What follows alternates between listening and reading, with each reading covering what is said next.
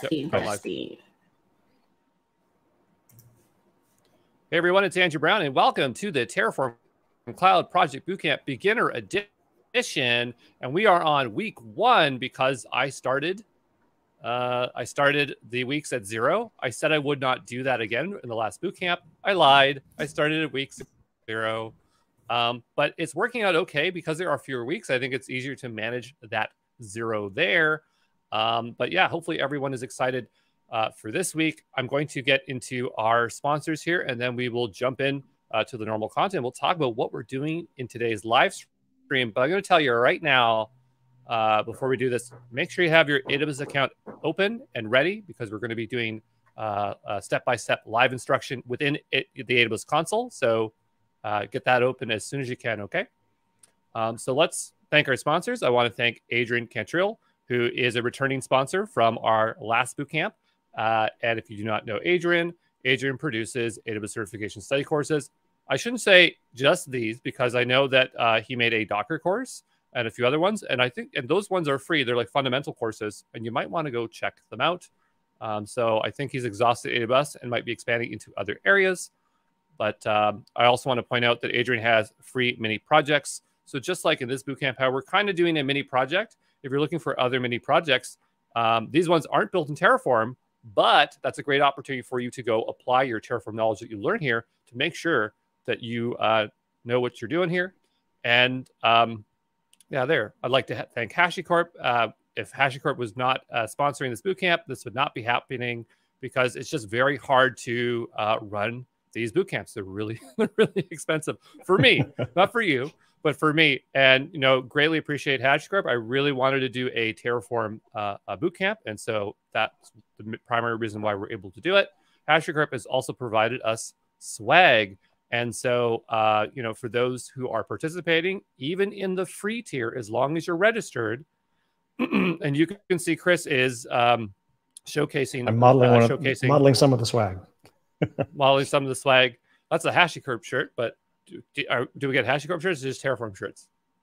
Um, wh- whatever's in the in the bin, we're gonna we're gonna figure it out Whatever in the bin. So whatever in That's the right. bin is what you get. I hope you like uh, Vault and Vaults. I like the Vault logo, but no, um, it'll be Terraform and HashiCorp Terraform. t-shirts. Okay. So so we have our Terraform shirts and vouchers. Uh, those get issued out uh, randomly. I think we said uh, shirts are at random for anyone that's registered, and then Correct. vouchers are at random for anyone that completes uh, that like to the completion that you can do to right. So those are the two that are there, right? So just get all your stars, the maximum stars that you're able to, based on the tier that you're in, because certain tiers will have a different level of stars. Uh, if folks are asking how to register, it's at the terraform.cloudprojectbootcamp.com. By the way, uh, we didn't close registration because we're finding that the administration is going very well. And so it's still Hmm. open for a while. It's not going to stay open for forever, but um, uh, this would probably this might be the last day we'll leave registration open. I- I'll have to talk to Baco about it, but uh, just get in. But you'll have to do some work to catch up.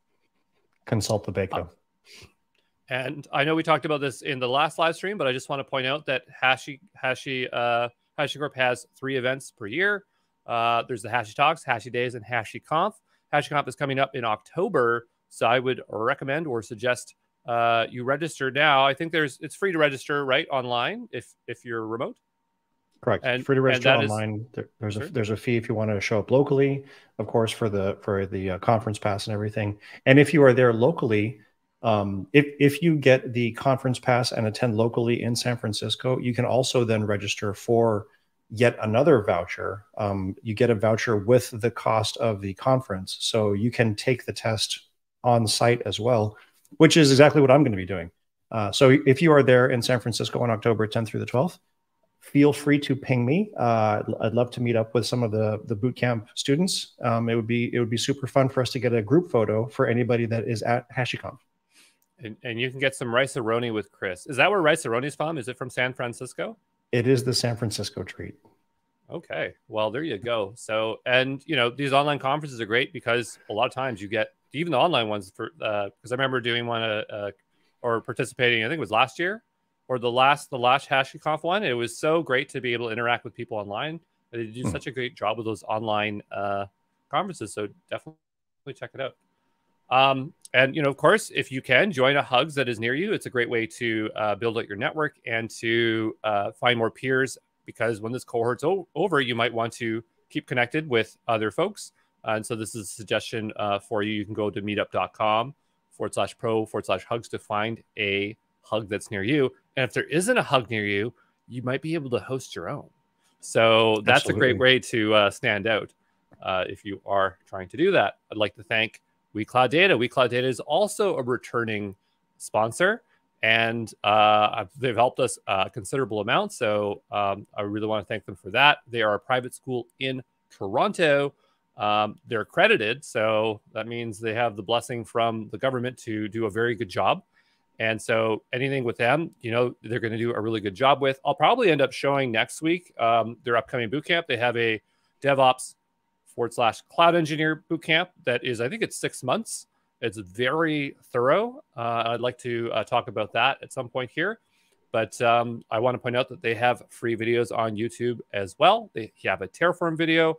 Uh, some of their videos are DevOps focused, some of them are data focused. So uh, even though we're learning Terraform here, you might go there and they'll give you a different perspective from a different angle. And that might be something uh, you may be interested in. It's great to uh, utilize multiple sources to get a full round picture of stuff. So check that out and tell me what you think. They also have a few couple of open courses. So if you need to learn Python SQL, which is basic cloud programming, fundamental cloud programming uh, knowledge, I think everyone should have, uh, go check that stuff out uh, there. So we're through with the wait, wait, wait, wait, wait, wait. I'm a sponsor. I always forget to talk about myself. I, uh, a sponsor we're a sponsor. Bako and I are a sponsor, exampro.co. You probably already know what it is now because you're on the platform. We create certification courses. Uh, they're free and then they're layered with uh, um, paid material that also helps support the production of these uh, uh, uh, videos. They generally almost always go on free code camp because we want to make sure we're getting educational content as accessible as possible out there. Uh, do I have a slide after this? I do. Yeah, and so um, you know, as I was saying, uh, most of our videos are first published to Free Code Camp, but they're also on our platform. You're probably getting an idea if you're registered how that works, and we layer it with a bunch of stuff. So like study notes, flashcards, Quizlets, lecture slides, cheat sheets, practice exams, etc., etc. You got it. So hopefully that makes sense there, and we will move on uh, to the boot camp. I did want to talk about um, uh, Git workflow because I think I was a I would say I, I, found it very interesting that a lot of people found value, or it was the first time people were experiencing Git workflow.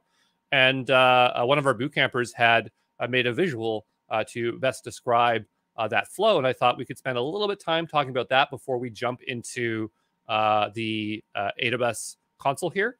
And I think that's next. Oh, I forgot about I forgot about our, our cloud security duo uh, before we talk about the other thing. And actually, I was talking to Ashish yesterday, and so we got videos coming out. So I think I will be releasing a security video this week by uh, Ashish and Shilpi. So look forward to that.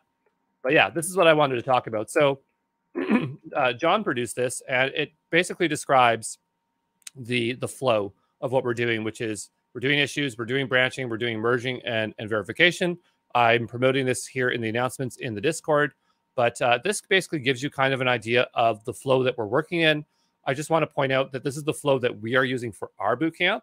And so for some teams and projects, they might do it differently based on how they want to automate, whether they want to have a manual check and things like that. But for the most part, broadly speaking, this is something that uh, is very useful for um, uh, uh, uh knowing when you're doing uh, development and we are doing development uh, to to a particular particular way or particular degree.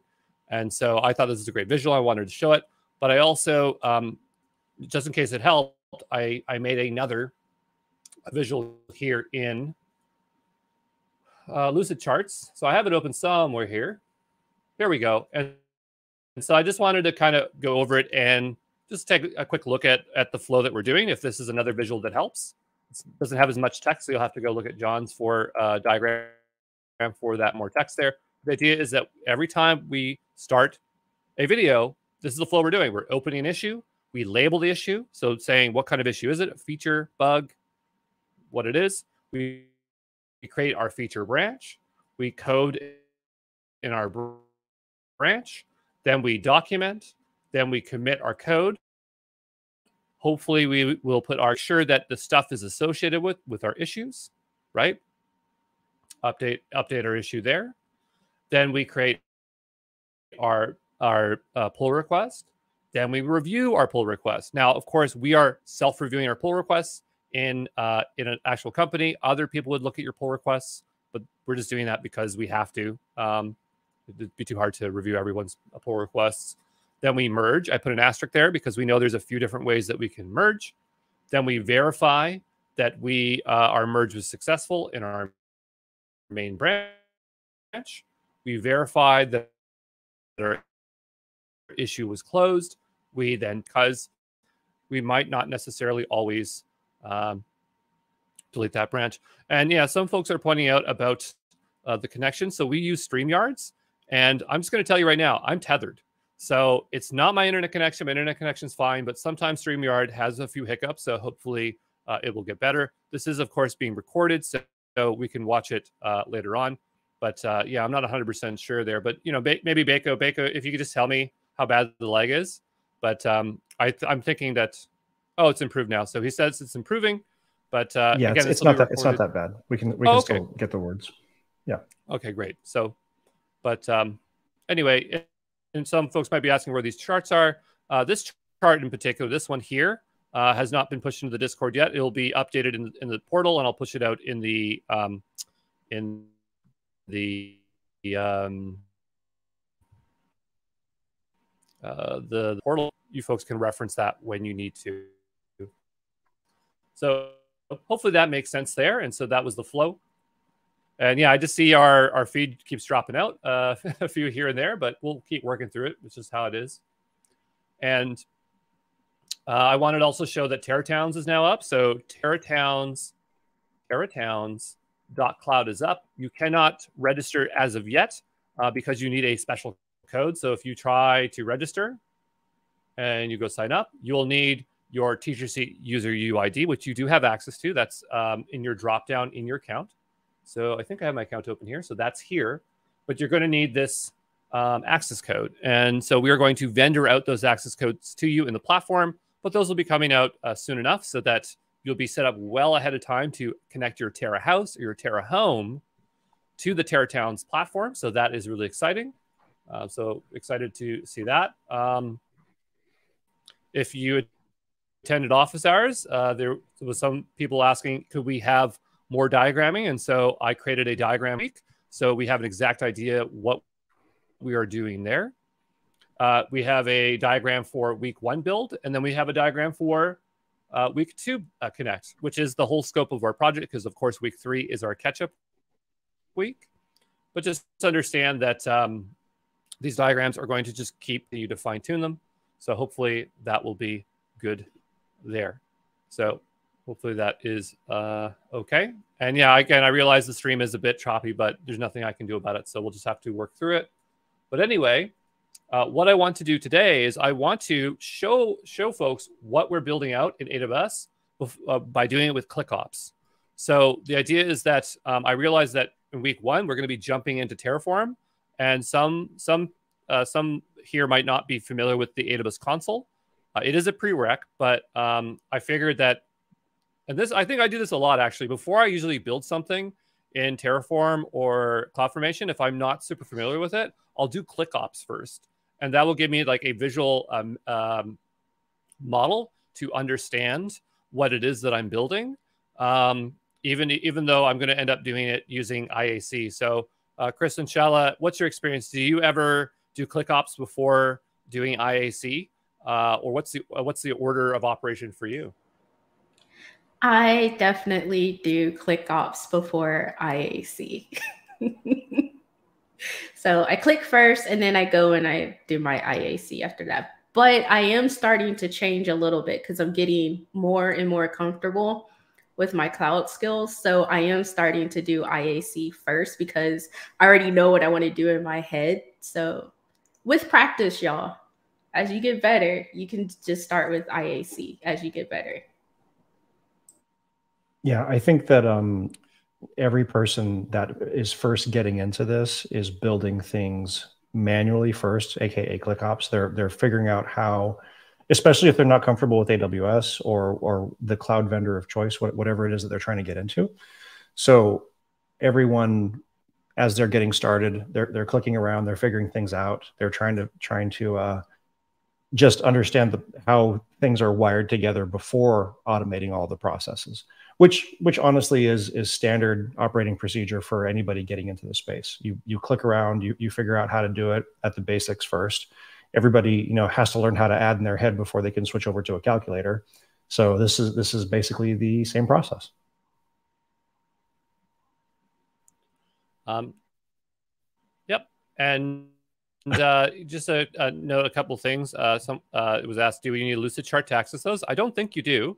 I don't think you need Lucid account because it should just share and, and have access. Uh, if anyone can hmm. verify mm. that for me, I just don't have 100% confidence with this, um, but I'm pretty sure you don't. But I can also make them accessible another way. Uh, for the hearing impairment, um, because it's live, we can't generate them out on the fly. It's very difficult. However, this is recorded, and so what's recorded YouTube will generate out the closed captioning or or um, the subtitles, and so it will be there, and it's just a limitation of that. Um, LinkedIn, I can't remember if it has live captioning. It might or it might not. Yes. Um, it, it I think does. It, it I, does. I think it does. Okay. It does. I'm looking so, at it so, now. And now that I'm remembering, yes, I think what we did is we said for those who um, are having issues with YouTube or need the captioning, you'll have to go over to LinkedIn, the LinkedIn stream. Uh, I probably can share it. Uh, see if I can grab the link here. Open a new tab here and just grab the link. I'll just drop it in here in the chat for those who need the closed captioning. So uh, here is the link, if if that helps. Um, but anyway, let's just uh, look at our diagram here. So I'm just going to zoom in on in, and I just want to talk about what we are building today and it doesn't matter if we finish what we're building here in AWS. I just want to go through the motions and get you comfortable with AWS and talk around these things because some of these things just take time to spin up, like distributions and stuff. So, and everything we're spinning up is in the free tier, so it should be okay. But it, we're just exploring the AWS console and where these things are. And so, what I'm interested here to talk about is the S3 bucket, uh, the CloudFront distribution, the origin access controls, the static website hosting, which is here. Um, and so it's basically this track over here that we are looking at. And uh, so hopefully that will make sense. But let's jump over to our AWS account. So uh, folks, you should be logged in your AWS account. Can I get a plus one in the live stream if you are logged in to your AWS account and ready to go like I am here? Can I get some plus ones? And also and, uh, watch the chat here. Also, while you all are doing your plus ones, also click that like button and subscribe if you haven't subscribed. and I, I am going to be your hype person, Andrew. I swear. Okay, that's right. I I never tell people to do that, which is crazy, but um, I really should because I always forget. Those all those all right, plus like ones are, are likes, right? yep. Oh, yes, exactly. Okay, great. So we are we are uh, we are um, uh, we are all ready to go. So uh, you know, there's again, there's two components of this. This is just static website hosting. It's not particularly difficult, but um, uh, again, we just want to go through it. Maybe maybe you've used AWS before and the UI has changed. Just understand that AWS likes to change the UI all the time. This is not unique to AWS; it's with all of them. So uh, we'll keep make sure we're situated. The first thing I want you to know is where are you? What region are you in? And I'm just going to zoom this up so it's a bit larger. But the first thing you should check, and I'm going to do the best to zoom it in, is make sure you are where you think you are. Um, so in the top right corner, um, I'm in CA Central 1. That's where I like to launch my resources because I'm in Canada. You can launch them wherever you want.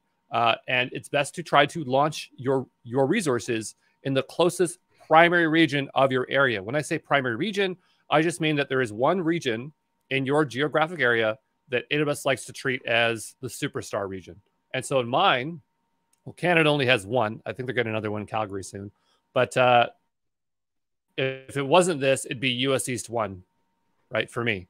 Um, but if you're in uh, Europe, I believe it's EU Central one, right? If you are in other areas like South America, well, you have one, so that's going to be yours, uh, and and things like that. So, and if, if you really don't know what to do, then you can always just do US East 1. That's always a safe choice. Uh, different regions have different restrictions on services. The services we're using today should work in every region because they are core services, simple services. And I hope I don't regret saying that. And people come back and say, hey, this doesn't work in my region. But for the most part, you can pick whatever region you like and you should be in good shape. And uh, yeah, some uh, for India, uh, they're saying AP South 1 India.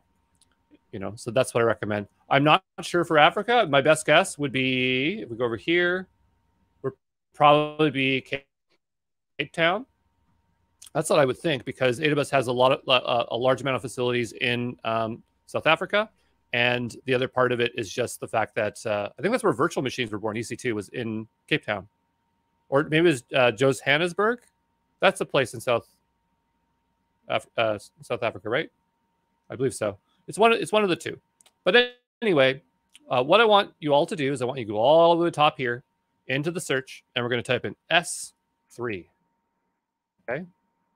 And from there, we're going to go here and click into S3. Okay. And we'll, we'll patiently wait. And now we should have our S3 buckets. So S3 buckets is a form of cloud storage in some sense, it's kind of like, uh, but it's not, but it's kind of like uh, Google Drive. It's kind of like Dropbox.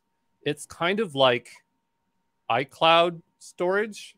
I'm not a I'm not a huge user of iCloud, but uh, and the idea is that it's a place to store uh, digital files in the cloud, and you don't have to worry about the size of the drive. You just dump things in there and you just pay for what you consume, what you store, and your downloads, uh, like in traffic, if that makes sense.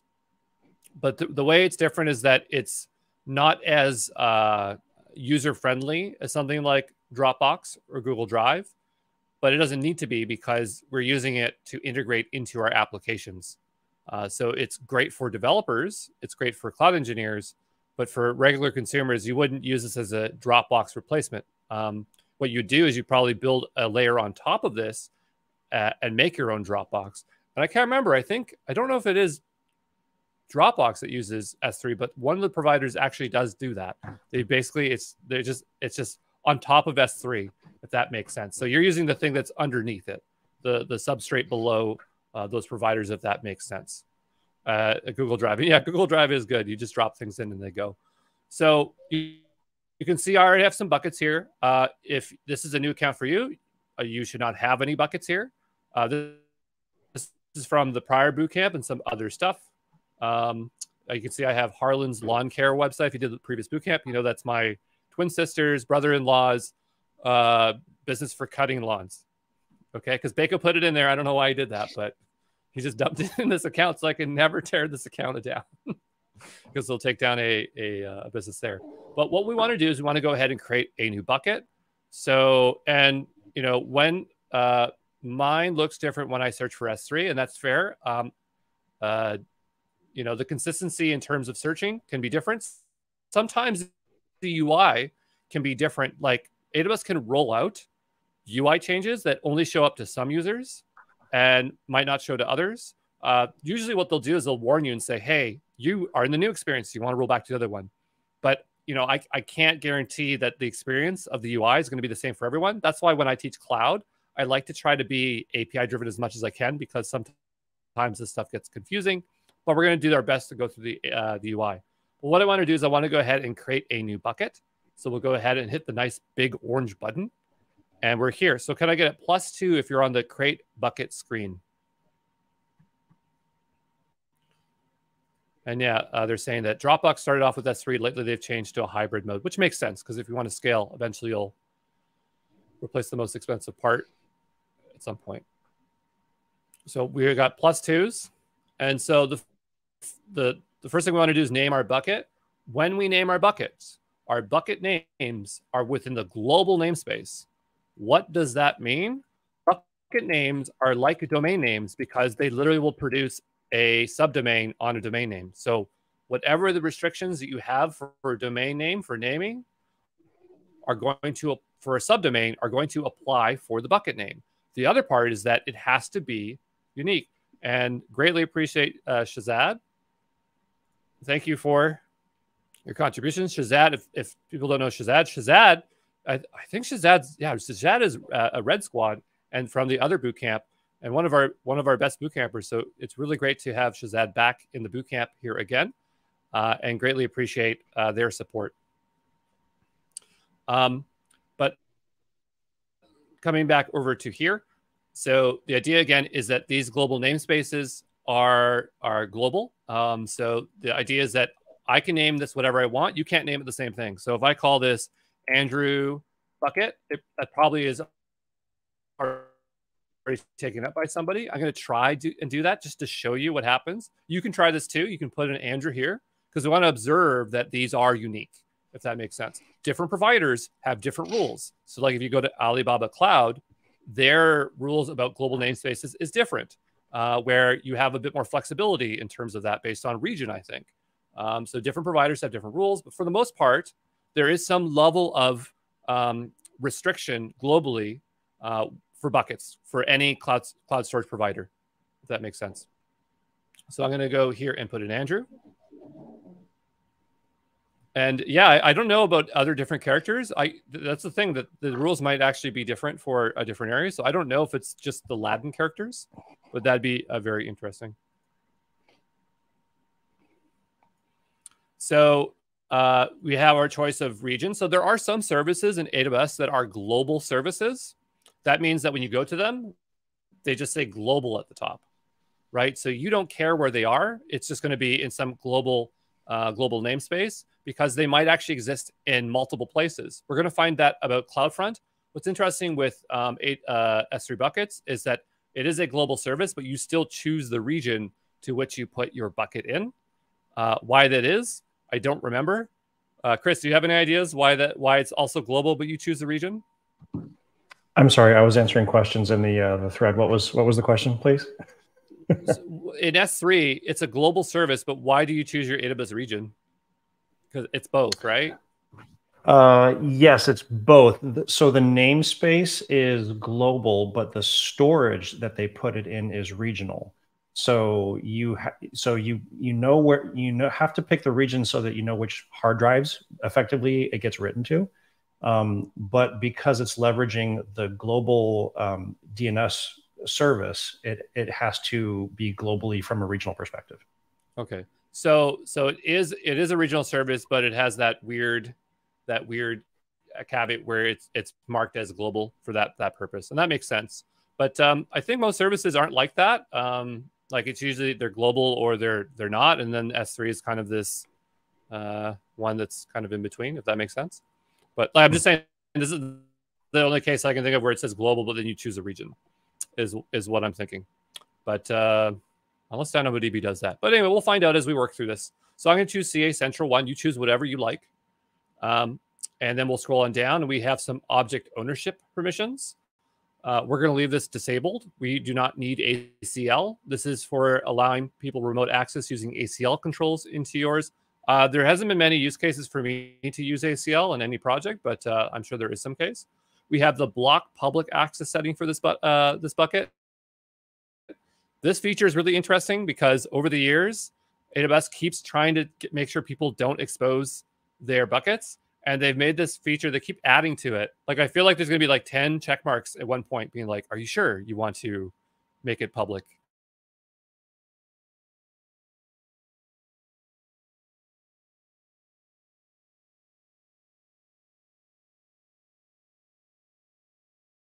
Uh, we are going to keep our buckets um, locked down. We're never going to turn. Whoops! Don't keep that check mark.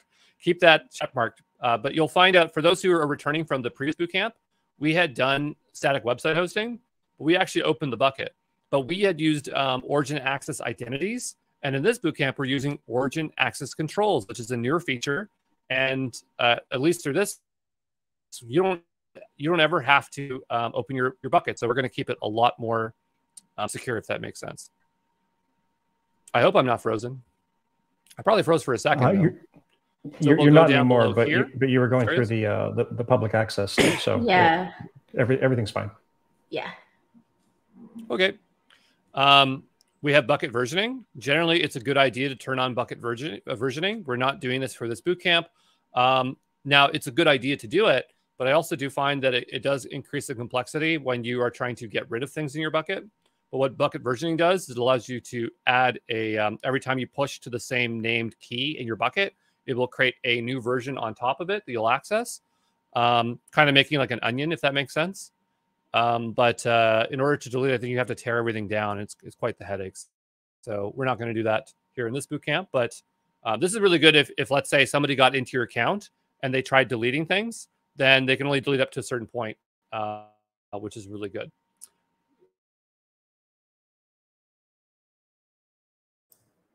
Uh oh. May have froze again. Hmm. We need like the uh what's that, the Jeopardy music? Doody do I, I can't I can't do it. and I don't have my stream deck set up for music here. I need to get a stream deck. Um, oh, they're so much fun. Yeah. All right, so this is the fun of doing stuff live. Anyone who ever comes to my stream, you already know, like these things happen. I, I will say, um, while Andrew is in the process of reestablishing his network connectivity, turning on. So there's a couple different areas where you can store your backend state file.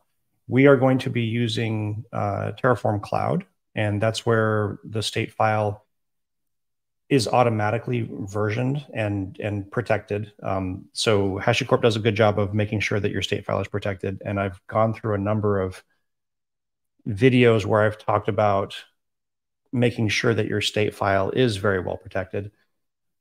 One of the so you never want it. So the, the state file that we're using for Terraform is the backend information wherein all of your data for, for your provisioning process is being stored.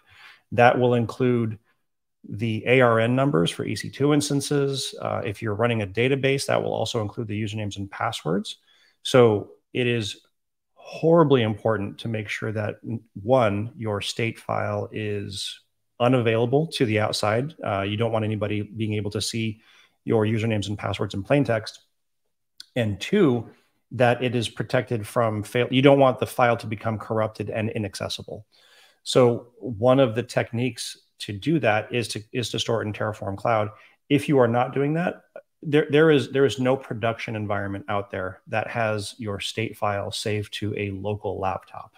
Um, that is, if you are doing that, you are asking for it, and that's you're going to have a bad day. So one of the things that you can do is if you are storing your state file not in Terraform Cloud, if you're using S3, the the bucket versioning that Andrew was talking about is something that you want to leave turned on because what that does is every time you change your state file, a copy is it, as it versions through, very similar to how GitHub works. You're, hey, he's back. What's going on, Andrew Brown? We can't hear you though. We can see you. We can't hear you. How about now? Can you hear me now? I can hear you now. I was ad libbing okay. talking about the importance of state file and why you would want to keep bucket versioning turned on on an if you were using S3 as your backend for a state file, why you would have versioning turned on. Excuse me. So um, back to you. Oh, oh okay, glorious great. instructor. Yeah, you know what happened? you know what hmm. happened? My kid. What happened? My uh, my no. three year old went in my basement. The kid pulled the router again. Pulled the router out. again.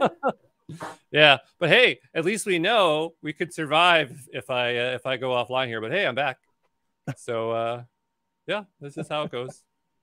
I don't know. Usually oh, we lock the door, but uh, I don't know. You know how it is. Anyway, well at least I, well, I don't know how it is for everybody, but uh, kids are a lot of work.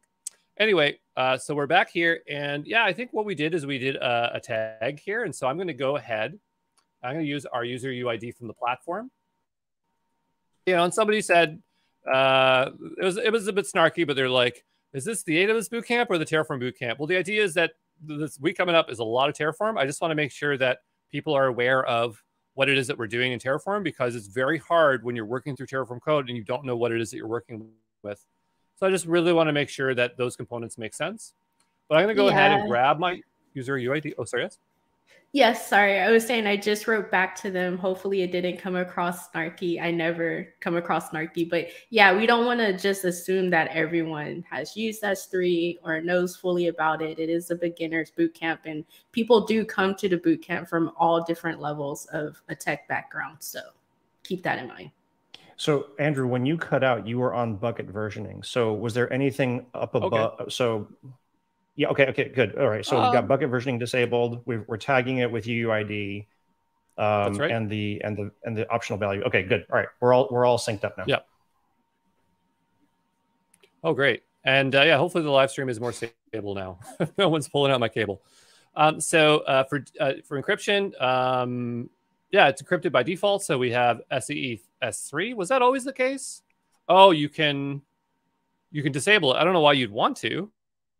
No, but you, I guess you could that. disable it if, if you'd like. If you're bananas, should we?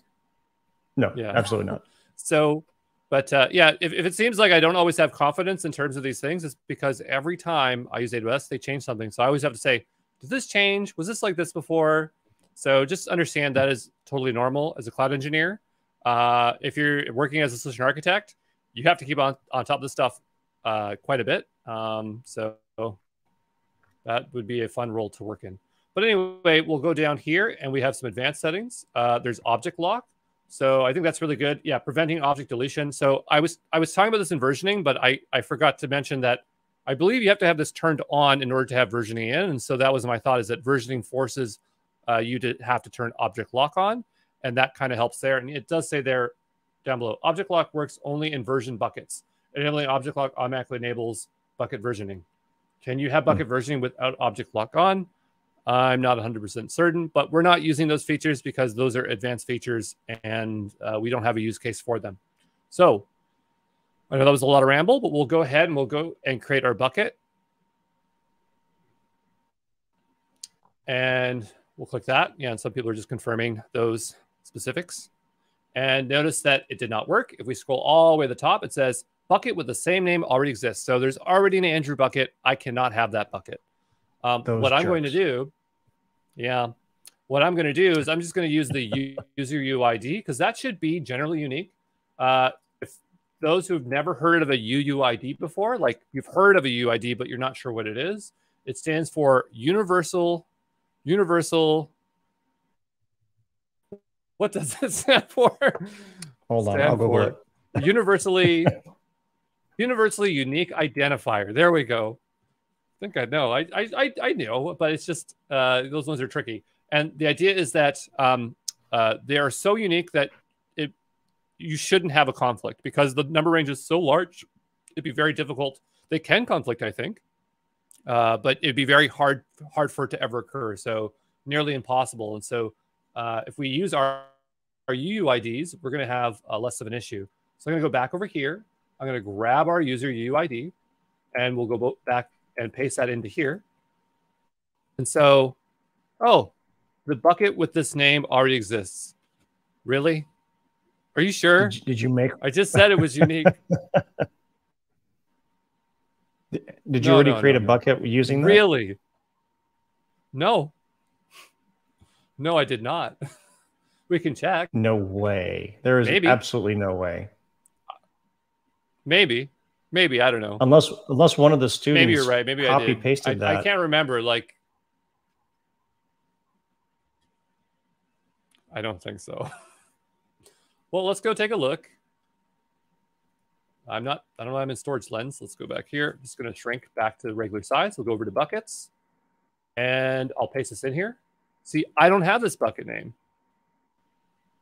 I've never made this bucket before with this bucket name. So that's okay. Uh, what I'll do is I'll go in front here and I'll just put Andrew. There you go. Or re- the real Andrew. Okay. And we'll go all the way down the bottom. We'll create our bucket. But yeah, I just wanted to really uh, make that point that those are unique and someone might have your name. Uh, and it can be very frustrating when they have your uh, bucket name. So here is my bucket down here below. Okay. Okay. And so, yeah, well, UIDs are like they are unique, but they're unique up to a certain point. it'd be very hard to uh, have a conflict. But again, if somebody copies that and pastes it, I'm going to run into an issue. Um, I had a very unique bucket name and it said it was taken. Yeah, I, I know. it's frustrating. It's uh, I don't know if it's like easier to get a, a unique domain name versus this, eh? But anyway, mm. so can I get a plus 10 if you are in here in the bucket and you're ready to upload something?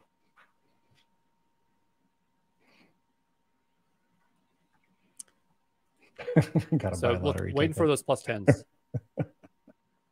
we got a plus 11, so one person's uh, one step ahead of uh, us, which is great. Seeing plus 10s, good. good. I'm seeing Great. some comments if you can increase the screen size again. Yeah, I'll alternate between that. Um, the mm-hmm. only issue though is that uh, yeah, it doesn't uh, it doesn't squash well, so I have to move between those two there. Um, so the idea is that we want to set up static website hosting. Um, and while we're waiting, I need to create some uh, uh, index HTML pages or something that we'll uh, need to utilize to upload here. So what I want people to do is to go to the repo. And we're just going to temporarily make these. Um, I'm going to go and match the branch where we're all supposed to be. So if this is week, I'll go to tags. That'll be easier. And so we should all be on 090. So I'm going to go to my 090. I'm going to go ahead and launch my Gitpod. I'm going to let that spin up. I'll hit continue. And while that's spinning up in the background, it's a good thing it's not Sunday because tomorrow they have maintenance day. Right. Uh, we're going to make our way back over to S3 um, here, and we're going to enable um, static website hosting. And where it is, I always forget, but I'm going to guess it's under management. I never remember where it is, no matter how many times I do it. And if we scroll all the way down, um, so it's not there. That's okay. We'll keep clicking around. Let's try properties. And there it is. Okay, right at the bottom. So we found it. So click on properties and we'll go all the way down to the ground and we'll find static website hosting. And I want you to go ahead and hit edit. And for the most part, uh, you know, most providers that have cloud storage generally have, have static website hosting for their for their cloud storage. So I'm just saying that there is some transferable knowledge to other things like GCP, Azure, and I'm not sure about Alibaba Cloud, but uh, you know they don't work the same way, but they generally will have this kind of static website hosting uh, in in a similar way. But uh, yeah, we'll go here and we'll have it enabled. And I just want to get a plus 11 if you are here in static website hosting and you have it enabled and you're just ready to fill out this form.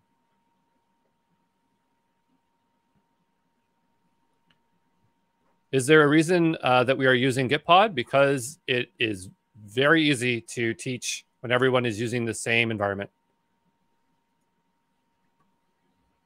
You can use local if you want, but I we're going to use Gitpod one because person ask that question every episode. Yeah, I was just day. responding. I was just responding back to them. But like I always tell y'all, you know, it's your preference. Just if you get stuck, just understand we're showing y'all how to do it in Gitpod. So keep that in mind. I have a I have a very good friend who came to one of my workshops four years ago. Uh, they're trying to get into uh, DevOps, and every single thing in the in in the workshop, they just decided to do it differently because they wanted to do, do differently. And they're like, "Can you help me?" And I was like, "No, nope. you're doing everything differently." And they said, "That's okay," but uh, I don't know. It was it was fun. Um, but for Git pod, all we were doing was hitting that button and launching up that space. We just want somewhere to create those files. We're not going to commit these. We're just doing them temporarily uh, for the purpose of this here. So let's go back over to uh, our bucket, which is up here.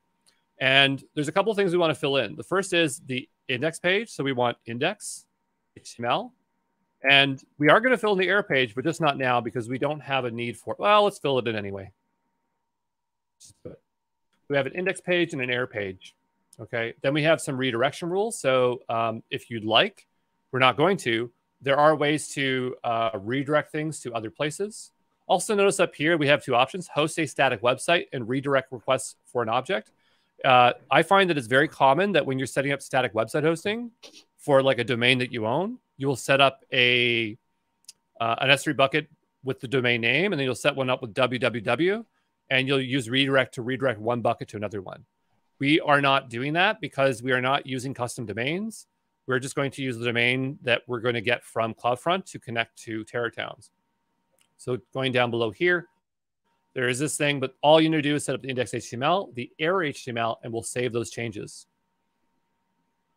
And uh, if that has successfully saved and you're seeing this green, can we get a plus 15 in the chat?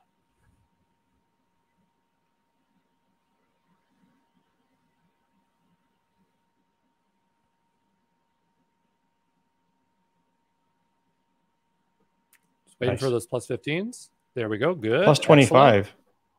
Plus 25. Well, you know, if if if you're ahead, that's okay. Okay, so and we can see we have our tag applied. So that's good. So let's now go over to Gitpod and we want to create a couple of HTML pages. Now, uh, these are going to be really simple. Uh, later on in the bootcamp, I'm, I'm going to try to put together a um, an asset kit so that we can create some funky looking pages to put into TerraTowns. And I'm going to kind of show you how I go about making a funky page. We're not trying to create good looking pages. We're not trying to do things to standard. We're just trying to build personal pages that are going to be fun to use. Uh, and so what I want to do is make a new folder here. I'm going to call it public. And then Oh, by the way, I'm going to bump this up because I realize that's really small. And I'm going to make a new file in here. I'm going to call it index.html. Okay, we'll click into this and we need to put some HTML in here. I do not feel like uh, figuring out how to make an HTML page. I should know at this point because I've been doing this forever, but I'm going to try to use ChatGPT. If you don't have ChatGPT, that's okay. Um, we'll see if we could find another source here. I'm going to open up ChatGPT. And if you're wondering, yes, I was looking up the other day about chocolate prices because I can't believe chocolate bars are like $3. And I wanted to understand, and apparently in the 1970s, I can't believe this. They used to cost 20 cents. Imagine taking two dimes and getting yourself a, uh, a payday. That'd be amazing. But uh, we'll go to new chat. I just can't imagine paying 20 cents for a chocolate bar. That, that sounds great. Um, we'll go here and I'll just say uh, create a static, or we'll just create an HTML page. What's something we can do um, that has a recipe for Finnish pancakes? Okay. And that's true. Good chocolate is expensive, but it's very good. And I've had some very good chocolate. There's a really good chocolate store in Toronto. Uh, I can't remember what it's called, but I it's really good. And they uh, it's like four pieces is like forty bucks or something, and they're really good. So you can do whatever you want here. We really just need like the doc tag, the HTML tag, head tag. I'll show you these for those who are not using ChatGPT or or Bard or or whatever. Um, you know, you can just copy paste a few there. And you know what? No one else likes paydays, but I love paydays. We actually don't get them in Canada, but there's a few places in town, especially specialty places. I always run to get them because they're that good to me. But um, maybe I'll try to make my own payday bar one day, like at home, like a DIY. Maybe I'll make that a page. I'll, I'll try to make a payday bar and I'll post it to Terra, uh, TerraTowns Cooking. You'll you'll see the result, whether it's good or bad. so I've generated out my HTML. I'm going to go back over here. Finnish pancakes is also very common for uh, the region of Canada that I live in because there's a lot of Finnish people that uh, immigrated to this part of Canada. But I'm going to go here. I'm going to paste the contents.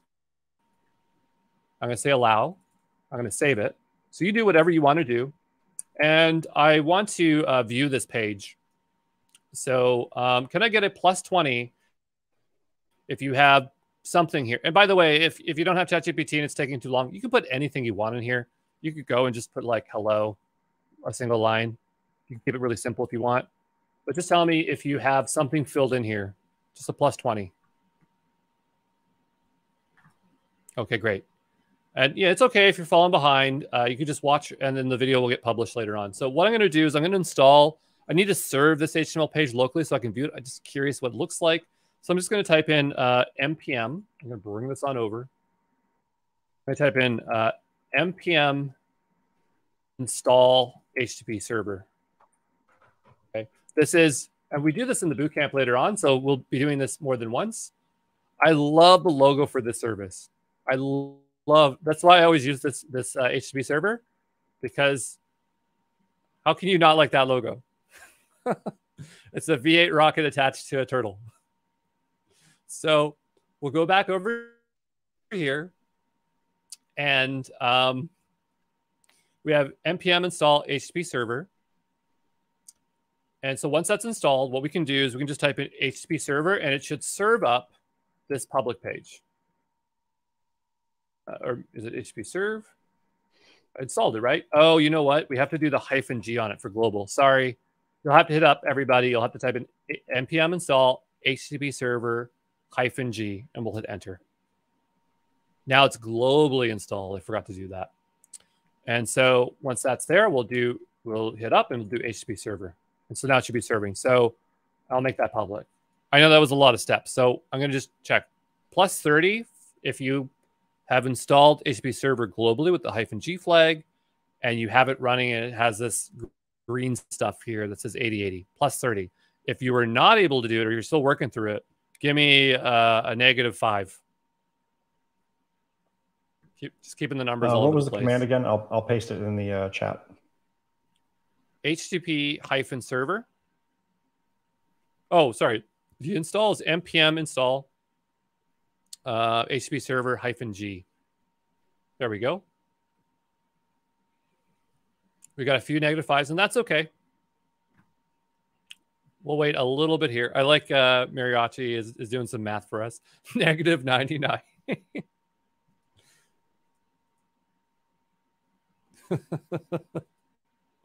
okay.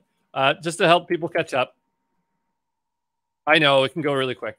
Um, so, oops, I'm trying to type clear. So the first command we're typing here is npm install http server hyphen g, right? And that's going to do that install. And then it'll be HTTP server to run. Run it. And again, you know, if this is if anyone gets left behind, it's okay because we have this recorded and you can go back and watch it. But I'm going to ask again Is there anybody that is still stuck? Can you give me a negative 10 if you're still behind? Negative 10. And yes, we will be adding, whoops, we will be adding this in a future video. We don't need to do that right now, but we will do that. Uh, it's, it's one of our previous boot campers. They know what we'll be doing in the future. Good foresight. Uh, so still a few negative 10s. Okay. Uh, for the 10s, where are you stuck? What part are you stuck on? And we have some creative folks here using uh, extensions. Not sure how to uh, get this code on Gitpod. So all we're doing is there's terminal down below. You click any of the ones on the on the right hand side, right? And we're just typing the command. It, it can do it in this one or this one. It doesn't really matter. But we're just typing npm install, npm install, HTTP server hyphen g. Installed but cannot reach the site. You need to go to the beginning after creating the HTML file.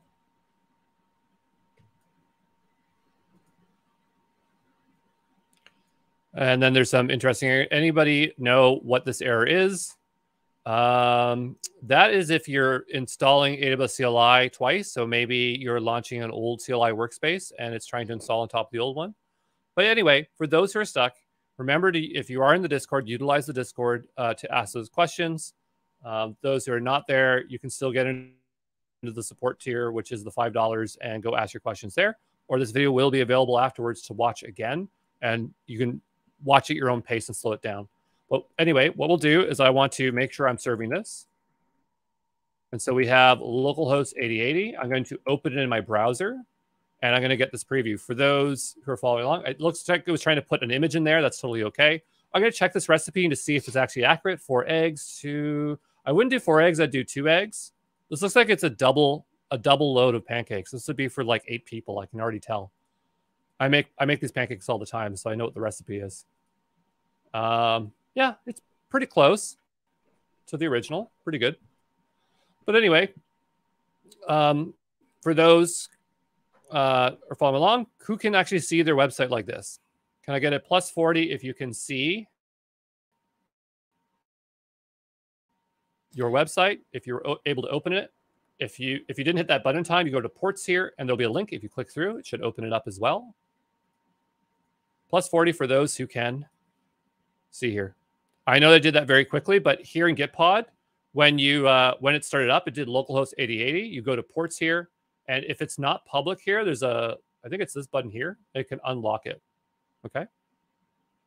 But um, I just also want to point out that uh, if you are having a hard time with Gitpod, I have a free Gitpod course um, that's also on the ExamPro platform. There's a paid option if you want to go get certified in Gitpod. You don't have to, but I'm just saying that if if you're struggling with Gitpod and you're new to these things, I have a very very thorough course on it that you could do in a weekend and get really really good at Gitpod if if that interests you. Not trying I to plug, just not, trying to help those that are stuck. I did not know, but you should do this. Like I did not know you had a Gitpod course. That's good to know. Yeah. Um, yeah, very, very, very thorough. Maybe more thorough than than necessary, but uh, if you like the tool, right? So I cover every little thing about it because I I was trying to explore it for my own team. I wanted to make sure I knew every feature of it. Um, nice. So I have my nice finished page, and so we we need to get this onto uh, S3. Actually, you know what? Let's use the CLI for this. Yeah, let's let's be risky. I was just going to drag this in place. You can actually just drag files in here but let's use the CLI and live dangerously because then I don't have to download to my computer and then upload it. And it's a bit of a headache.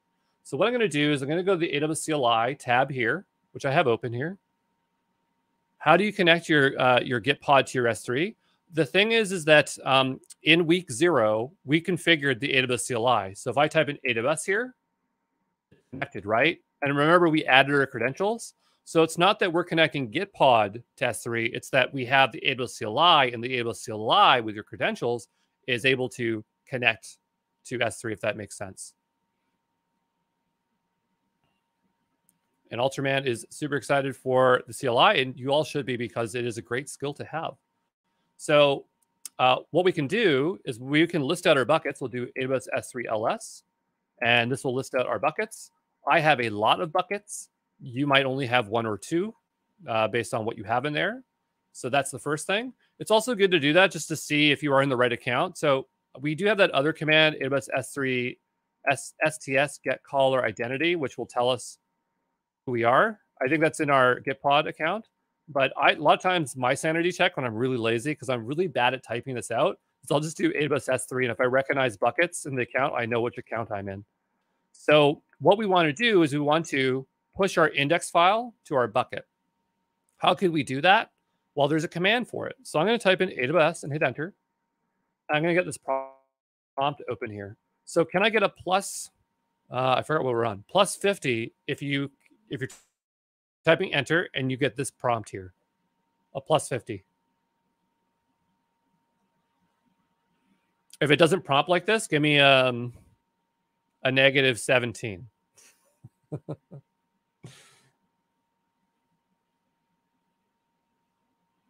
Okay.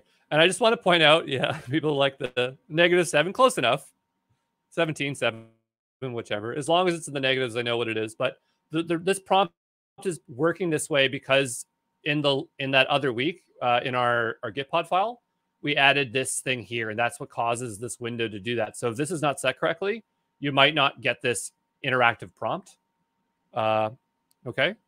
So, you know, just understand that you might have your Gitpod configured incorrectly you don't need this interactive thing. It just makes it a lot easier when you don't you can't remember all the commands. So I'm going to type in S3. Sorry, here S3. And this one's a little bit strange because AWS has S3 and then S3 API. And it's confusing because why not just have one? And my guess is that when AWS was building their CLI, they first built S3 and then they built S3 API because S3 was limited, or there could have been reasons for two. Chris, have you do you know any rumors as to why there's an S3 and S3 API? Is, could you take any wild guesses? No, just make something up. That was that was back before I got into AWS back in 2006, I want to say. Uh, so I have no idea as to the history on that one. So sometimes it's fun to poke poke around and find the history, and the reasons could be silly, or there could be good reasons. But all I hmm. know is there's AWS S3, and you can upload that way, and you use S3 API. What I find is that the S3 API is a lot more uh, flexible. What we can do, let's look at S3 first. We have some commands. We'll do S3 because it's simpler. But we have commands. ls is for list. We can look at the website, which is kind of cool. We have cp, move, remove, sync. Uh, I don't know what MB is. What's RB? MBRB. Not sure. Make but, bucket, um, remove bucket. Ah, uh, make bucket, remove bucket. Okay. And so what we want to do is we want to copy a local file. So I'm going to go for CP. I'm going to hit space and we want to copy the bucket index HTML. So I think what we can do is we can just type in public index HTML. I could be wrong, but I think we can do that. It might want like the file thing in front of it. Sometimes it wants this, but I don't think so. So I'm going to try this, see if it can take a local file. And then I'm going to give it its location. So I can say index HTML. And I think this is what we need to do. Uh, if we don't know, if we really don't know, we can look up the documentation. We can look at look up it in here, but it's uh, not easy when we're doing it with Gitpod. So I'm actually going to go look up this command. I'm going to type in AWS S3 CLI into Google. Okay. I want you all to do this. Okay. Go to Google or Bing or whichever search engine you prefer and type in AWS S3 CLI because this is something you got to do all the time is look things up. And, I'm going to click on the first one. It says 129.52. That's not the latest. I'm going to click into that. And uh, some people are saying, yeah, no bucket name. You're right. We probably do need a bucket name. Uh, can I get a plus? Let's go to the hundreds now. Plus 100 if you are here on the S3 page. Plus 100.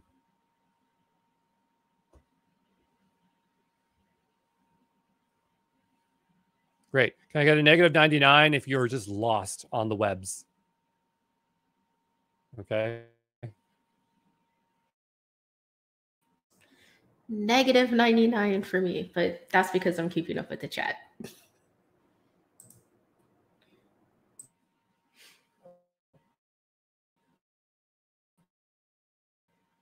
So, um, one interesting thing with the AWS CLI documentation I'm back. I had uh, my internet is.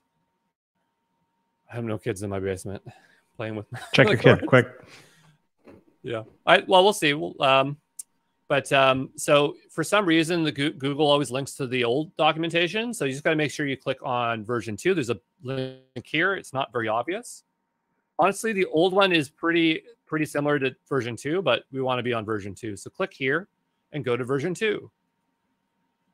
I want to show you a little trick. When you look up, um, when you look up uh, the AWS CLI, if you ever want all the commands, click the AWS logo, and then it takes you to all the commands. Okay, that's a secret. A principal engineer taught me that. That's a new one for me. Thank you. That's awesome. Yeah, yeah. It's well because often you go here and you go, oh, okay, where do I click? Do I go to home or whatever? Just click the logo. Anyway, so we're here on S3 and we're looking for a, a particular command. So it's down below here, but I'm going to go and click the AWS logo and we'll scroll on down and we'll try to find S3. Or you can search for it. That's faster. Okay, we'll click in S3. Oh, we're in the same spot. All right. And usually they'll list, I thought they list the commands at the top here, but maybe it's here on the left-hand side. So we'll go to available commands. On the left-hand side, we should see the list can I get a plus 110 if you're here on available commands and you can see them? Seriously, navigating documentation is like a super skill for cloud engineers or DevOps or cloud programmers. or whatever cloud rule, cloud architect? One, one thousand percent. I've I did not get good at reading and researching official documentation until I started doing DevOps. So um, we're going to go to that CP command. I'm thirsty.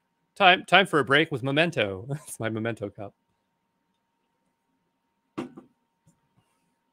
I couldn't think of like a generic thing to say about Momento, you know, like when they have those product inserts, but if anyone wants to send Mentos. me more metal tumblers, I'll take the them. fresh maker. Yeah, it sounds like what's it when I say Momento, it just sounds like Mentos, eh? um so, so here they'll usually have examples. On the left-hand side, we have examples. If you click it, I thought he was going to drink poutine. Maybe. There's a there's a type of hot dog we have here in Canada where you you, you just boil the hot dog and you put it in a bun, but you put maple syrup uh, on it, or you can dip it, and um, they're like maple dip dogs. They're real good. Andrew Brown, I have a question. Sure. Did you just say dip your hot dog in maple syrup? Yeah, they're really good. Is that a common Canadian practice? Of course it is. Dipping your dogs?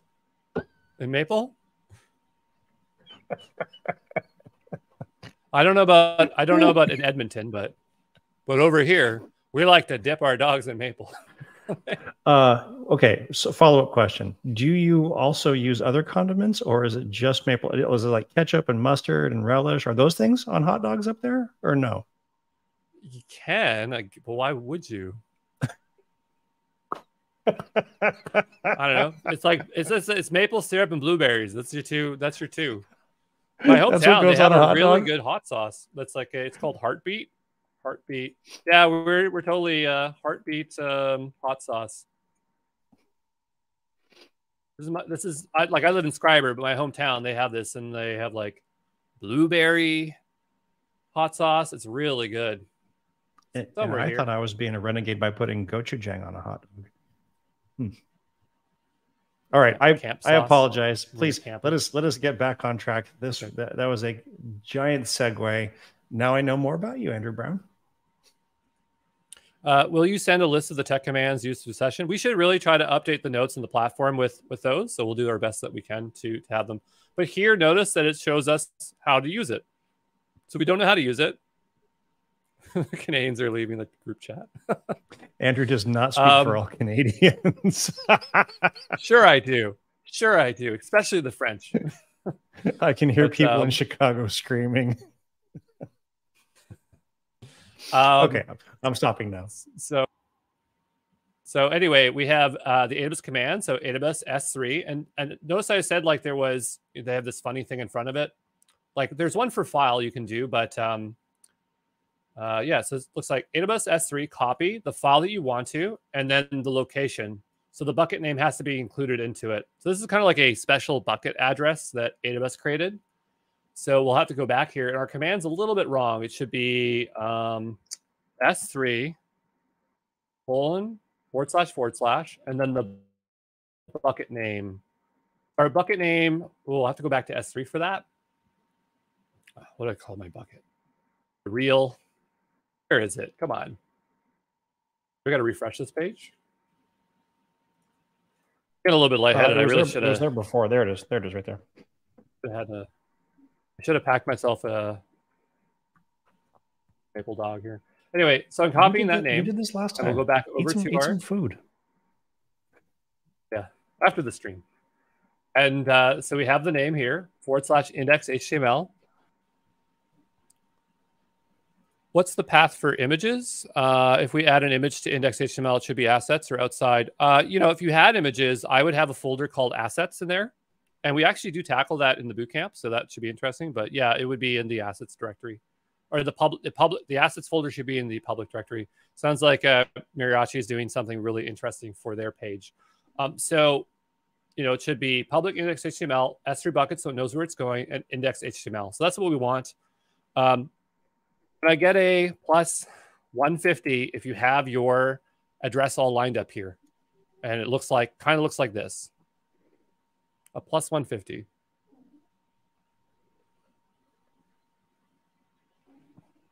Okay.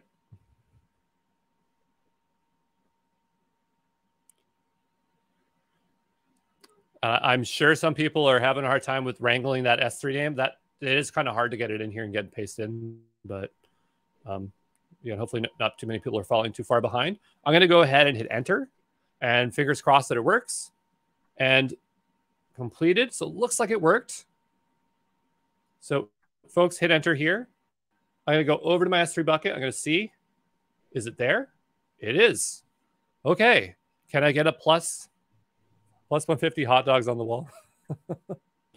um, can I get a plus 200 if you have your index HTML page uploaded and it's sitting right here?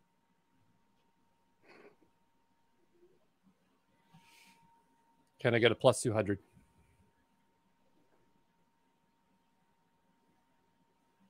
Nice. Okay.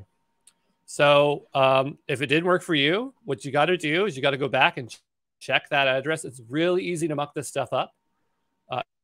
If you again, if you're if you're if you're having a hard time here, make sure copy paste that will help you in the Discord if you have access to the Discord, which is you need support at least support tier to be in there, and you can still get in today if you, you know, etc. etc. So uh, uh, that's uploaded now. The interesting thing here with the uh, static website hosting, if we go to properties and we go all the way down to the bottom again, it should have produced this link here. And this is the static website hosting link. Okay. And, um, oh, and some, some are suggesting there's a shorter form of doing it where if you just, uh, if you don't have the index HTML on the end there, it would, it would just take the name of the file and put it in the key, which is interesting. I think that's what they're saying is that we could go here and, uh, well, the command's not showing up again, but we could have left that off and it probably still would have worked correctly, which is good. So anyway, coming back over to here, we have this address. So let's go ahead and open it up and see what happens. Okay. I'm just going to sit here and watch our beautiful. Uh oh, we got a 403. Chris, what's going on? Why did I get a 403? Oh no, what could possibly be amiss? I don't know. What's what is a 403? Why and why is it forbidden? So the reason we got a 403, whoa. Whoa! What'd you do? What's happening? The magnifying? What's what? What is going on? Okay, there we go. did, did my screen go crazy? Yes. It did. Yes. I had magnifier on in uh, Windows. It went over the place. That was crazy. Never want to do that again. Oopsie. Um, the reason we get a 403 is that by default, our bucket is not public. So if we go back over to S3, this is a security feature uh, over here. Uh, if we go all the way to the top uh, and we go to permissions, we are blocking public access. So this is not publicly accessible, this page. Another thing is that even if we had this turned on, we need a bucket policy uh, to say, okay, now it's accessible to the internet. You're allowed to create a bucket policy. Now, what permissions are allowed there? So a 403 is a forbidden. It means you do not have access. You're not allowed to get to it, and it's totally okay. And uh, oh, pe people can hear me still, right? Still yeah, audible? we can hear you. I'm just doing a mic check. Okay, great.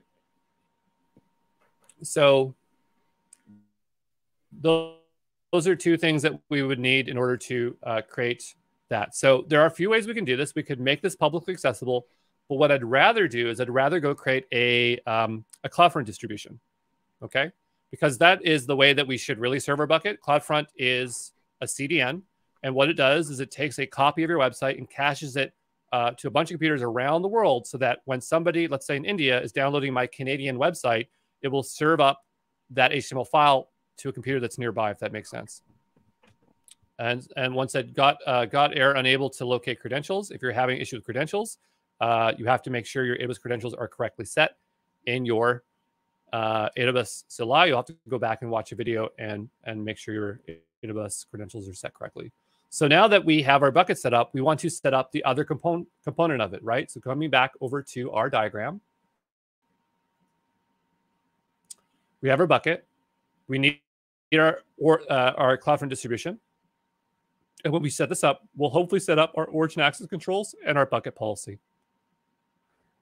Well, we don't want to make it public. We want to keep it private because the thing is, is that we can make it public, but we want everything to be forced through CloudFront as well, because CloudFront can also uh, attach additional security services like um, uh, AWS Firewall or whatever, and and that's just the the way it's going to work. Okay, so what we'll do is we'll go back over to AWS, and we're going to type in uh, CloudFront.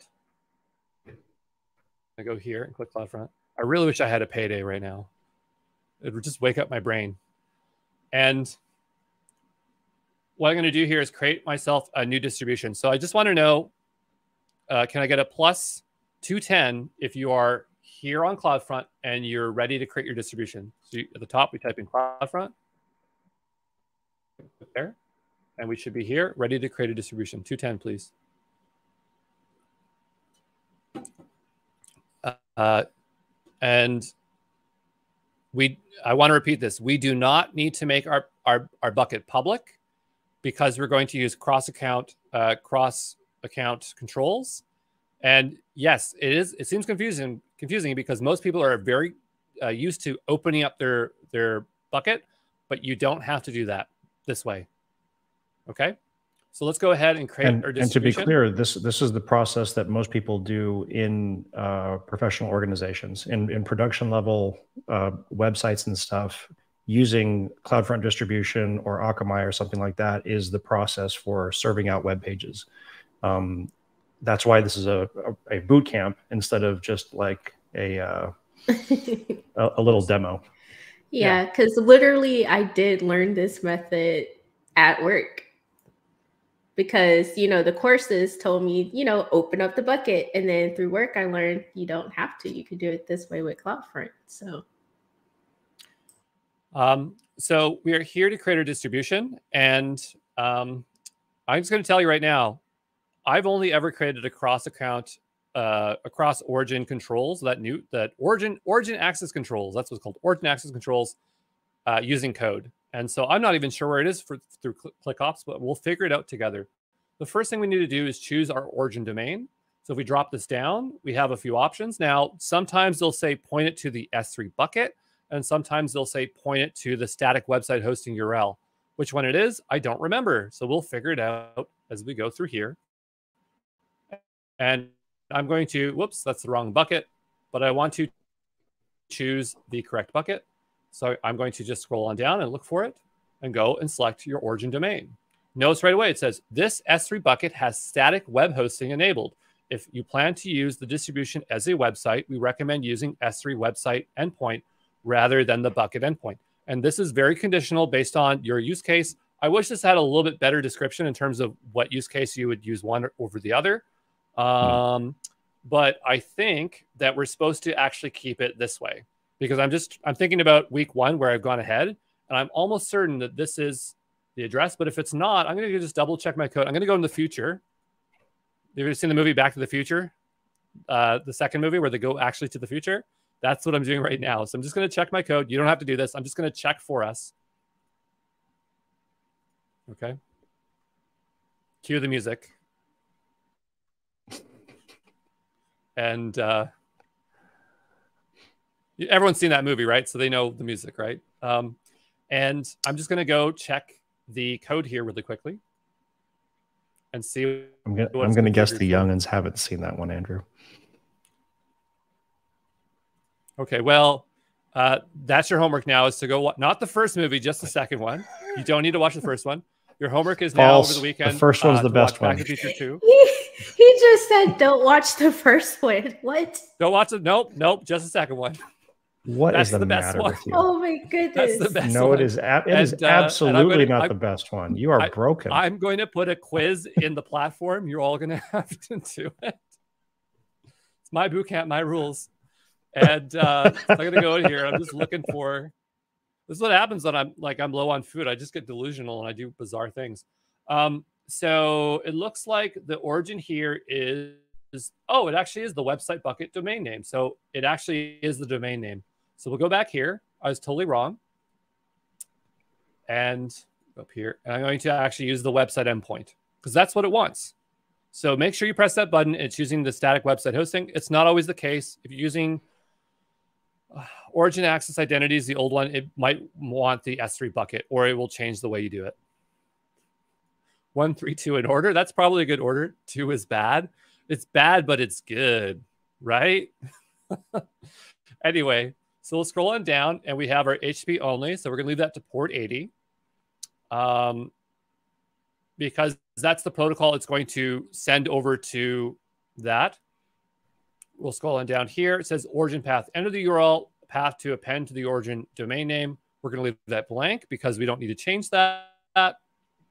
It has entered the name of this origin. We aren't going to change that. We'll keep going down. I know I'm going really fast, so I'll double check, make sure everyone's on, on point here. Advanced settings, we'll leave those alone. Um, HTTP and HTTPS is fine, but I probably would want to set to HTTPS only. We'll leave it alone. We'll leave this alone here.